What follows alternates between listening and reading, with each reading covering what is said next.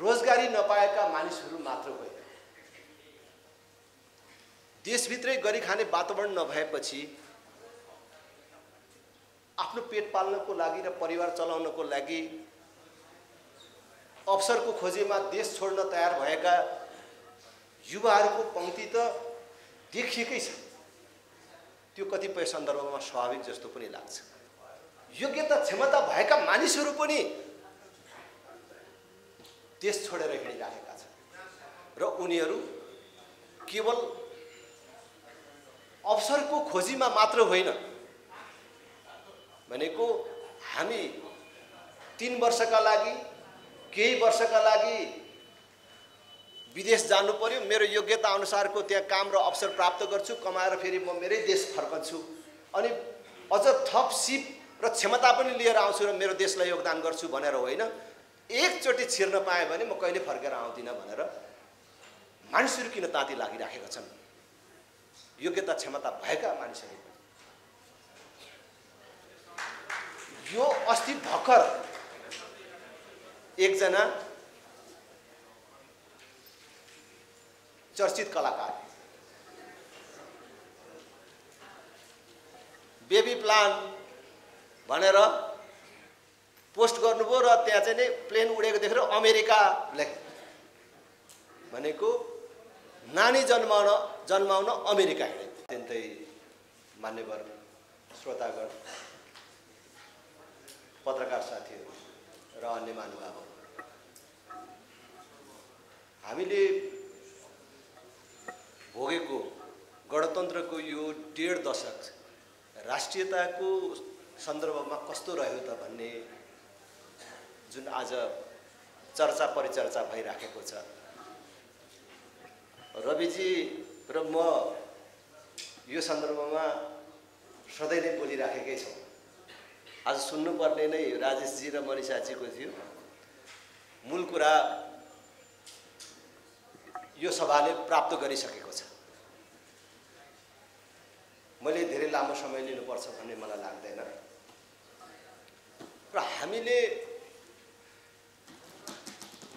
विकासको सुशासनको सेवा प्रभाव सामाजिक सद्भावको दृष्टिकोणले यो गणतन्त्रको डेढ दशक कस्तो रह्यो भन्ने भन्दा पनि मूल रूपमा राष्ट्रियताको कुरा किन उठायौँ त? भन्दाखेरि नेपाल जुन भू राजनीतिक परिस्थितिको बिचमा छ त्यसको मूल आत्मा भनेकै राष्ट्रियता हो। र त्यो देशको नेतृत्व र आम जनताले राष्ट्रप्रति कस्तो भावना राख्छ? त्यो महत्त्वपूर्ण कुरा हो। र मलाई लाग्छ राष्ट्रियताका अनेक परिभाषाहरू छन्। मैले चाहिँ छोटकरीमा के बुझ्छु भने राष्ट्रप्रति त्यो देशका नागरिकहरूले राख्ने भावना र आत्मिक सम्बन्ध राष्ट्रियता हो त अहिले यो डेढ दशकमा यो देशका नागरिकहरूको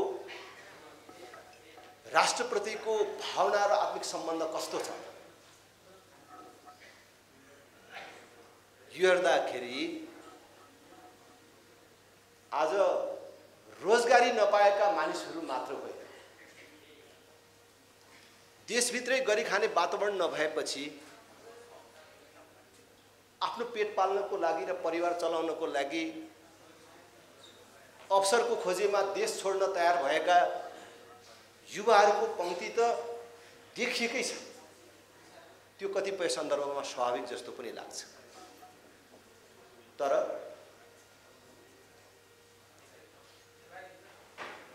पढेका भनेकाहरू पनि डाक्टर इन्जिनियर अथवा योग्यता क्षमता भएका मानिसहरू पनि देश छोडेर हिँडिराखेका छन्। र उनीहरू केवल अवसरको खोजीमा मात्र होइन भनेको हामी तिन वर्षका लागि केही वर्षका लागि विदेश जानु पर्यो। मेरो योग्यता अनुसारको त्यहाँ काम र अवसर प्राप्त गर्छु कमाएर फेरि म मेरै देश फर्कन्छु। अनि अझ थप सिप र क्षमता पनि लिएर आउँछु र मेरो देशलाई योगदान गर्छु भनेर होइन एकचोटि छिर्न पाएँ भने म कहिले फर्केर आउँदिनँ भनेर मानिसहरू किन ताती लागिराखेका छन्? योग्यता क्षमता भएका मानिसहरू। हुँदा हुँदा केही वर्ष अगाडि अस्ति रविन्द्रजीसँग पनि मैले कुरा गरेको थिएँ। एकजना पूर्व गृहमन्त्री। आफ्नो बुहारी लिएर अमेरिका जानुभयो।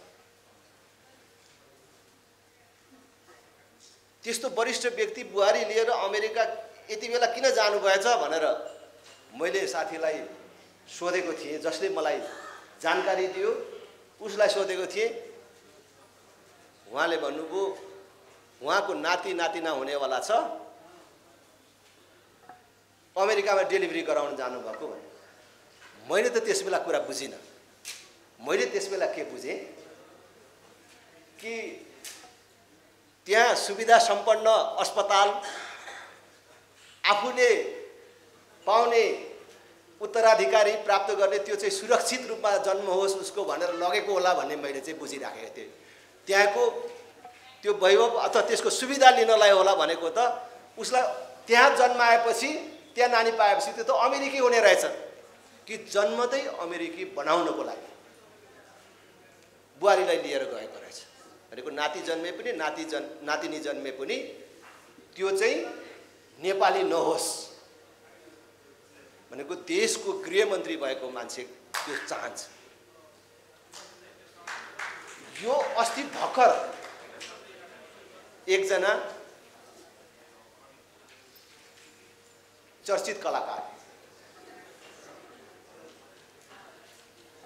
बेबी प्लान भनेर पोस्ट गर्नुभयो र त्यहाँ चाहिँ नै प्लेन उडेको देखेर अमेरिका लेख भनेको नानी जन्माउन जन्माउन अमेरिका हिँडे भनेको जीवनमा एउटा महिलाले पहिलोचोटि प्राप्त गर्ने सन्तान अब यो धरतीमा जन्माउन चाहँदैन आफ्नो देशमा जन्माउन चाहँदैन भने र ऊ नेपाली नहोस् र नेपाली नहुनुमा आफ्नो सन्तानको भविष्य सुरक्षित देखिन् देख्न थाल्छ भने देशको अवस्था राष्ट्रियताको अवस्था कहाँ पुग्यो?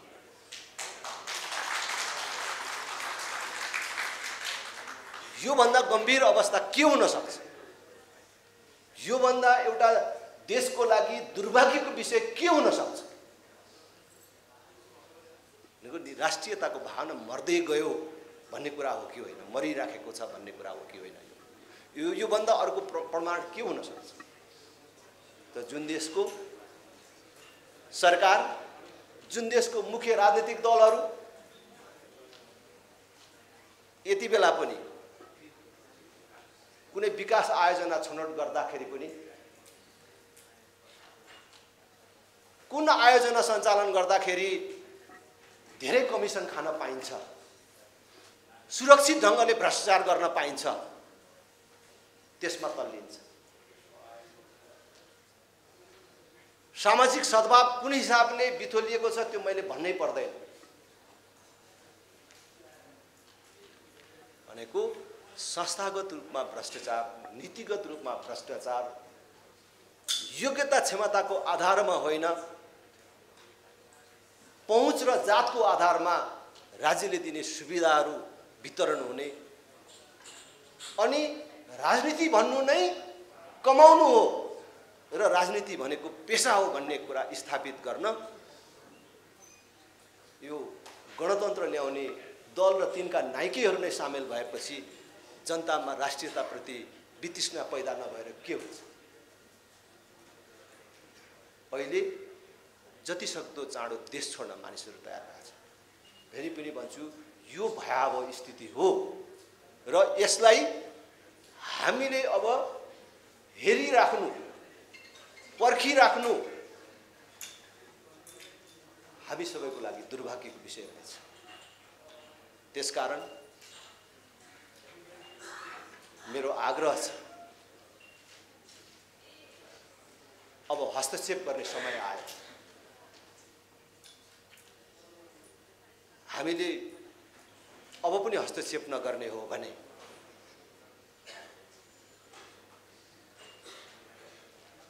कुन प्रकारको क्षति बिहोर्नुपर्छ मैले भनिराख्नु पर्दैन।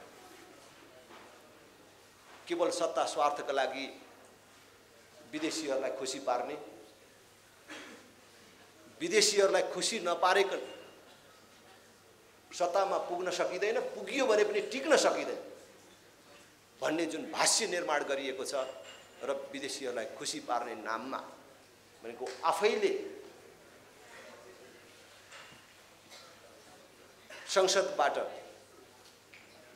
सर्वसम्मतिले पारित गरेर कायम गरिएको चुचे नक्सा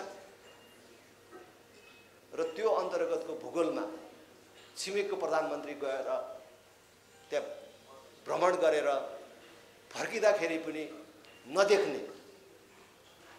त्यति मात्र होइन। अब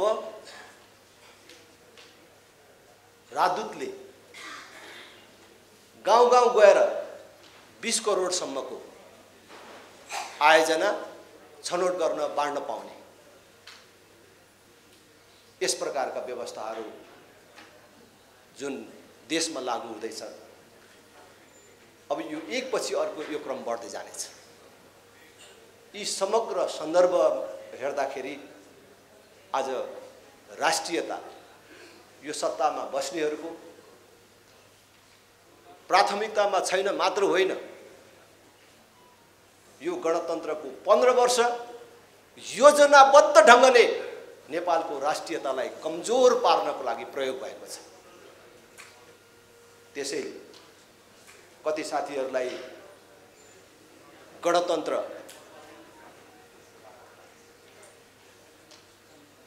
प्यारो होला तर फेरि पनि भन्छु कुनै पनि व्यवस्था साध्य होइन साधन मात्रै हो। हिजो